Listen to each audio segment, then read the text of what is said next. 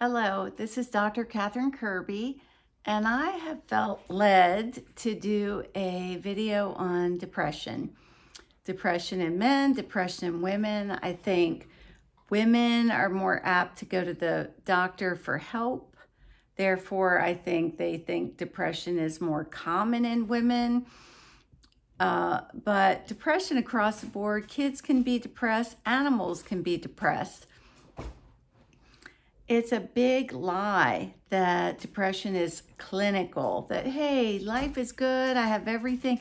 I just have a clinical depression. No, that is a big lie that was put out really by a profession that was dying out because people didn't want to go to a quack, because insurance companies wouldn't pay for a visit, and people didn't want to think they were crazy, especially I think men have that stigma where I'm not going to talk to a shrink. And um, so it got insurance to pay for the visits because, hey, it's a clinical depression. This whole thing about serotonin, your serotonin's low. If you read the printout from a antidepressant, will tell you that serotonin is theoretical. It is it cannot be measured. Now, if something were real, don't you think it could, that it could be measured? Anyway, I'm here today to talk to you about depression. So, in medical school, I was taught SIGECAPS. It's an acronym to help the medical student remember the symptoms of depression. So, there is uh, trouble with sleep, that's S. You need more sleep, you need less sleep and then um, you don't want to be around people. You don't have the ease for energy. You don't have the energy for people. You're not motivated. You don't want to do the things you normally like to do. You may have feelings about guilt, right? You could feel sad, but in men, that can be more irritability, right? Um, people can will notice you're not yourself. Is something you know? Is something wrong? Um, you're eating. You can be eating more or less. You're gaining weight, or you just aren't interested in food at all. And it begins to impact your daily life. And I don't know why two weeks, but they say, well, you have to have these symptoms for at least two weeks. Because people may say, oh, I've been so depressed, or I'm depressed today. No, that's not depression when you're when you're depressed today. I did read a book one time that looked at depression as something therapeutic, like um, it, it, it really spun me around because I've never thought of depression in a good way, but that you withdraw from the world for a time until you get yourself back on track. You're you can sleep more, you can lay in bed all day if you want. You can wallow in misery if you want. But you get tired of doing that. That gets old. One day you say, What am I doing? I'm laying in bed. The world's passing me by. I want to get back out there to life. I want to hear the birds sing. So, yeah, I never thought about that before. Um, I remember hearing a story one time about a woman that said when her mother died, she went to bed. Well, she went to bed for two years. That is pretty dramatic, you know. So, what do you do when you're depressed? Uh, first of all, don't think it's not about anything. There are reasons why we get depressed. Depression can be caused by junk food, sodas. Um, I've seen it I've seen people turn around when they get off that stuff, especially sodas, and uh, it can cause anxiety.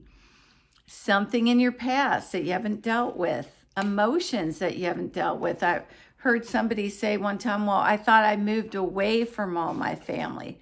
Well, your heart's in here. You can move away from situations, but you still have the emotions there uh, troubled childhoods, you know, marriage problems, problems with adult children. Uh, what if you have grandchildren you never see or children you never see? I mean, and then your relationship with God. We are created to know our Creator. And when we shut him out, there's a void that you don't really know who you are until you know him because he reveals to you who you are in him. Um, years ago, I, I had a patient that would come in and talk to me about depression. And as soon as I brought up the, the God thing, that's it. He never wanted to talk to me about depression again. But as a physician, you're supposed to treat the body, mind, and spirit, right? We're three. We're not just one. I mean, come on. Usually people get sick because there's something going on in their life. That's why their immune system goes down. You don't just get a cold. Why did you get a cold? So back to depression. What do you do about it? Do you go on antidepressants? Do you talk to a friend? Well, maybe you don't have any friends or you don't have any trustworthy friends or maybe and your husband don't get along or maybe you've been betrayed by a friend. Journaling. Journaling is great. I think I can't say enough about journaling because your heart comes out in journaling. Your you know, recently I told a neighbor that well, she was writing down, I got up at 8.30, I ate breakfast. No, a journal is not a list of what you do. It's about who you are. And when I told her that, she said, well, what am I supposed to journal about? And I said, well, assign yourself a question like, how do I feel about my life? Or where do I think my life is going? Who are the closest people in my life? Why do I think I don't have more friends? Um, how do I feel about my job and coworkers? Am I happy with who I am? What am I disappointed about in my life? You know, why have I stayed stuck in a job I don't like or whatever? Why have I stayed stuck? Why haven't I been more proactive? Ask yourself a question and just write for 10 or 15 minutes. And during the day, there's a lot of distractions. Even for me, I have two dogs sitting here. You know, you can hear the dryer go off, the telephone, whatever. First thing in the morning before you're really involved in the world is a really good time. Or at night when you're just before you go to sleep, but sometimes that can get you stirred up. And just write, just get it out. You'll be amazed at what comes out. Now, what about antidepressants? Yes, they have side effects. I kind of got into a little argument with a friend of mine who's a psychiatrist, and I said, Hey, sometimes people can't tolerate the side effects. And he said, Well, they have to. They have. No, sometimes people can't tolerate the side effects. There was a young man in college who killed himself because he felt like he was going to jump out of his skin and his doctor told him to keep taking the medicine. Different antidepressants are different. There are some that are very hard to get off of. Um, but it's like I was saying to this psychiatrist if you have severe side effects and you can't work, you, you can't take that medicine. Some people do wonderful. There is a big placebo effect meaning the fact that you know you are taking something makes you feel better. Some people gain quite a bit of weight, and then that makes them feel worse, and then they become pre diabetic. So, you have to figure out what is best for you. Hopefully, you have a good relationship with your doctor. Your doctor's gotten to know you. Sometimes counseling is a better way to go, but you have to have you have to have a good relationship with that counselor. If you don't hit it off, it's not going to work. Then you find you try somebody else. Uh, we had a counselor in our town that had evening hours, and he was wildly successful because most people can't take off work to go to a counseling appointment. Um, making amends with people you've had problems with, writing letters. Um, when I was training to be a foster parent, one of the videos I watched was about healing from past hurts.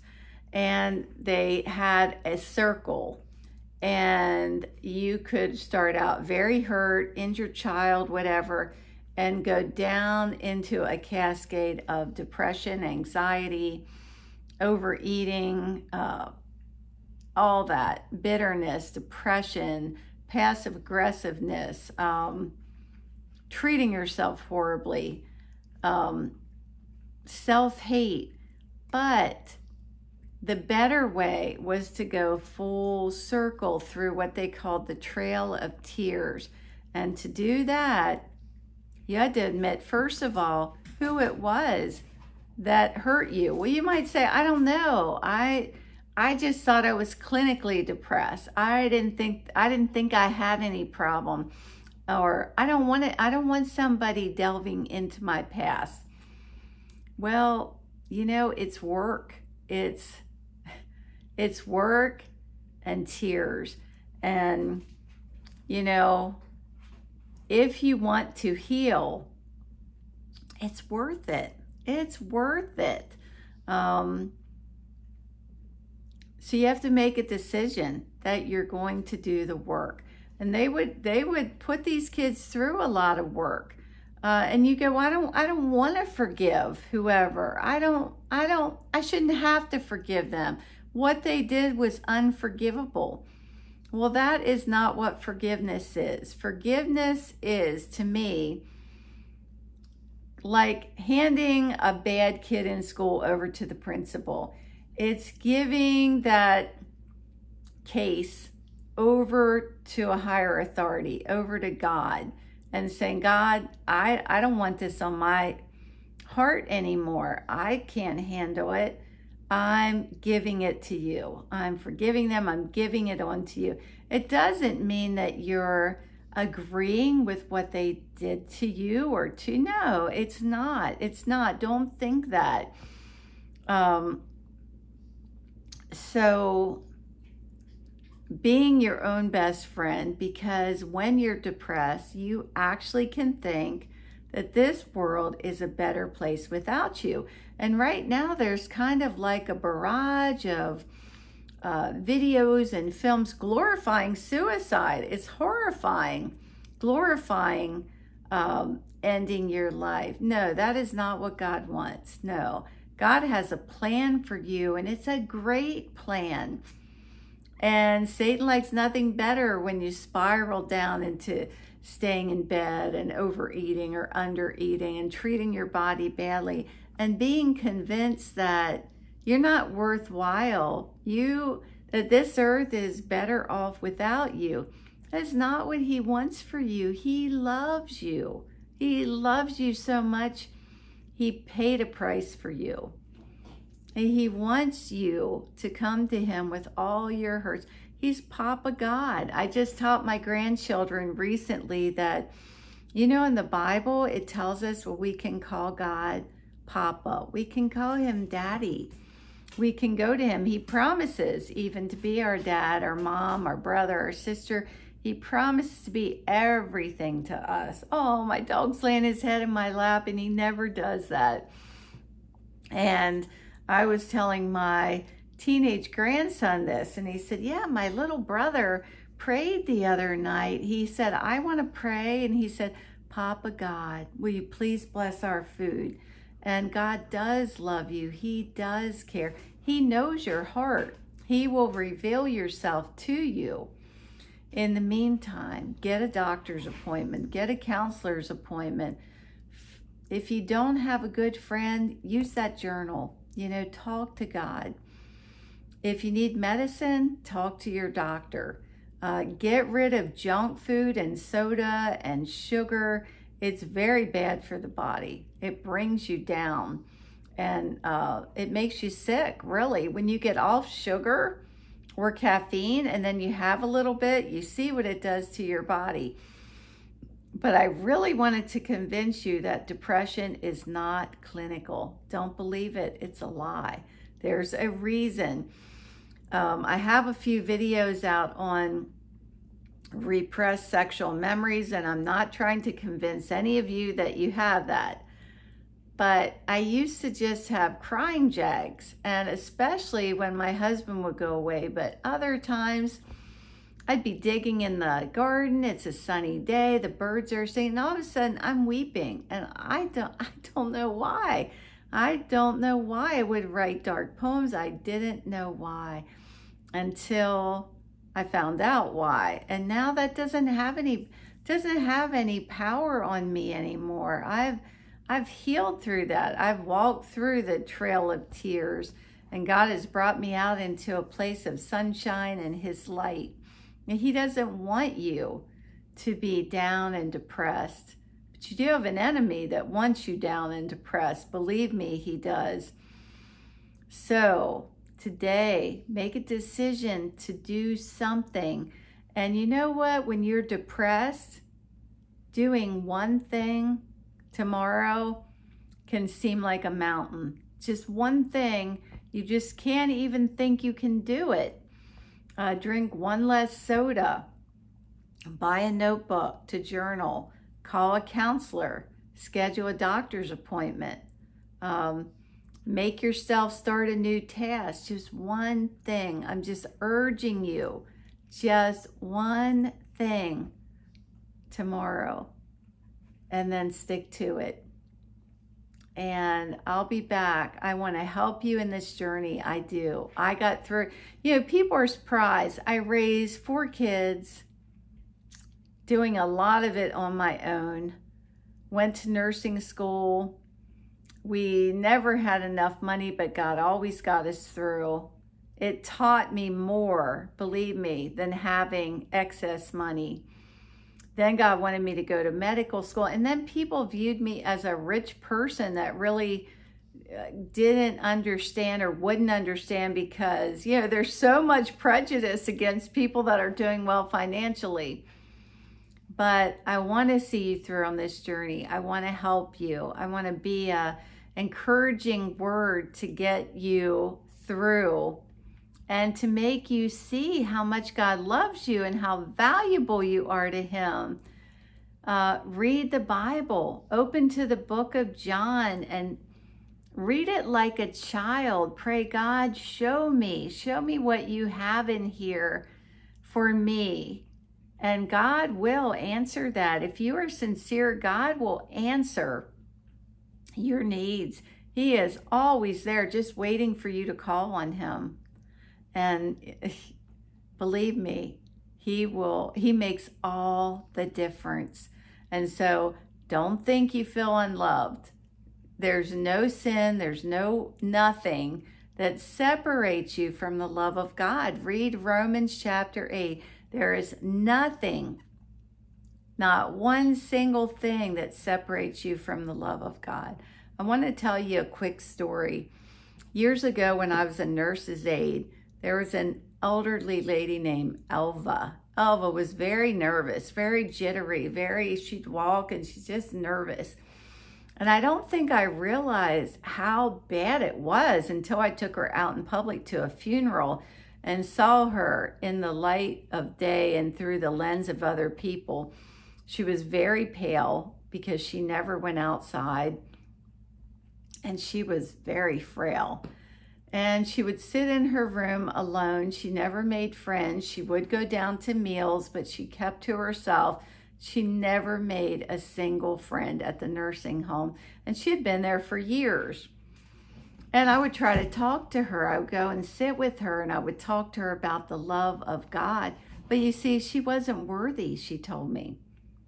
No, God did not die for her. And so I read her chart and there was sexual abuse in her childhood. And all through her adult life, she suffered from that. She suffered from anxiety and panic and mental breakdowns. And, and she had a great job, but she would go from job to job.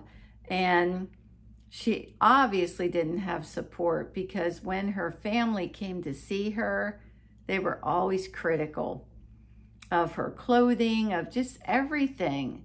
And the poor woman, she felt like a criminal because of what had happened to her. Beloved people, God loves you. He loves you so much. You can't fathom Read Psalm 139. He thinks about you all day long. His thoughts of you are so numerous you can't count them. He wants to raise lift his arms down and raise you out of this depression. And I want to help you too. And I will be back again to talk to you. Love. Take care.